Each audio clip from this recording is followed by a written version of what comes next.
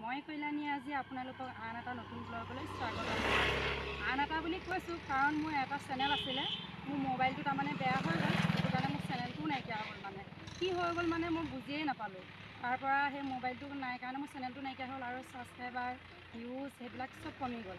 এতিয়া নাই সেইটো চেনেল কামত নিদিয়ে। সেইবাবে মই আজি এটা মোবাইল কিনিছোঁ আৰু আজি মই ব্লগ দিম মানে তেনেকুৱা ব্লগ দিম বুলি ভবা নাই। মই কথা কেইষাৰ কৈ দিওঁ বুলি ভাবি তাৰপৰা আৰু হেৰি আপোনালোকক কি হৈছে কি নাই হোৱা কৈ দিবৰ কাৰণে দিলোঁ। আৰু আপোনালোকে মই আজি নতুন এটা চেনেল খুলিম আৰু কাইলৈ পৰহিলৈ মানৰ পৰা মই ব্লগ দিম আৰু। আৰু আপোনালোকে ছাবস্ক্ৰাইব কৰিব বুলি আশা নমস্কাৰ।